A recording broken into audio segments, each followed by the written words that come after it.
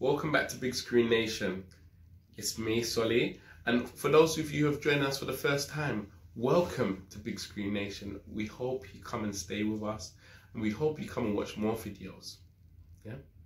So today I'm going to be talking about a film that came out in 2018. It's a Christmas movie, and it's number five in the UK, and it's actually doing quite well and trending quite well all over the world actually on Netflix. It's a film that's been out the last couple of years and it's called Christmas Chronicles. It stars Kurt Russell, who plays Santa Claus and does a really good job at it. And you've got two young kids in the film that play their roles so good.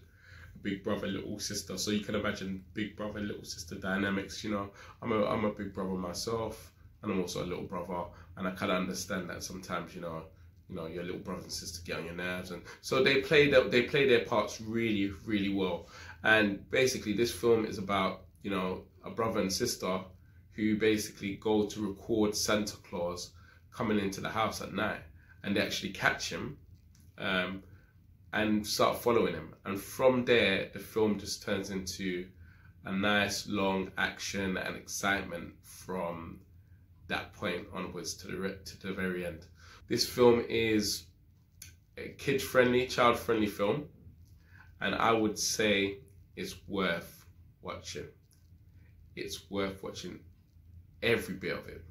Yeah, I would rate this film four and a half out of five. Yes, four and a half out of five because there's action, there's adventure, there's singing, there's suspense, and nothing too violent, nothing too cringy, except one thing that I found in this film.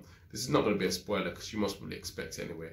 But the use of Merry Christmas, Merry Christmas, Merry Christmas in the film was like a bit overwhelming for me at times. But I understand it's a Christmas film, so it serves its part. It serves its part. Right. So otherwise than that, I think it was a brilliant, amazing film. 4.5 out of 5. Yes, I'll give it 4.5 out of 5 because the action was good, the story was good, the kids were good, um, Santa was good, even Mrs. Claus was good. Mrs. Claus was very good. Anyway, I'm going to leave it like that. Nice and quick, nice and simple. Um, Christmas Chronicles out now on Netflix.